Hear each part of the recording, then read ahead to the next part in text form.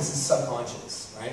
I, I, I know this stuff, so I'm always on the lookout and just trying to you know interpret this. But most people are not going to say they probably want something. They're just going to get a feeling, and it's going to and now this feeling is going to put defenses up. So it's the same thing about when I come up to the, when I come up to you. If I start talking too much right away, he's, his defense is going to go up because he's like, why would this happen? Right? Because this doesn't happen on a, reg, on a regular basis. People don't just come up and start talking, talking, talking. There must be something I want.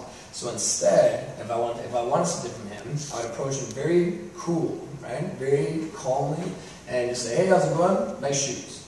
That's it, right? And that's a nice, easy sentence. Now it's easy. You do this on LinkedIn as well? Of course. Well, I, it, No, mean- it's a part. Then you don't initiate the, the subject or the topic where you're Nope, it. nope, no, no, no, no.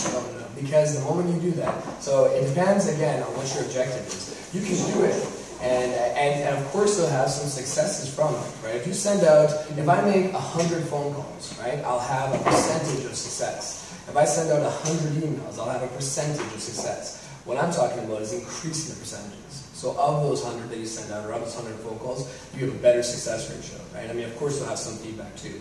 Um, so on LinkedIn, that, uh, that's, that's a very good point. So, so we'll go into how we initiate the first subject. But to, to start off with, we'll understand about how, yeah, Oh, does it work with everybody or just American prospects? that's a great question. And I would say everybody. I would say, UK. Yeah, oh yeah, yeah, yeah, for sure, for sure. I'm, and, and, and that, that, that's a good question. And, and I know this now because I've been here for four months and I'm prospecting myself. Right? I mean, I do this every single day. And so uh, we do this with Spanish, to uh, Switzerland, Germany, um, because it has nothing to do with countries, it has nothing to do with nationalities, cultures, and this also is something else uh, that I think would be useful to touch on. Um, the, Hung- the Hungarian perspective, something that I've learned in my conversations with people. Um, outside of Europe, if you guys are approaching North Americans, nobody, um, uh. I'm gonna say no. Yeah, sure. So in in the nicest way possible, nobody cares about being hungry. In, in in the best way possible. It's not a negative thing. Nobody nobody cares because it doesn't matter, right? This is the thing.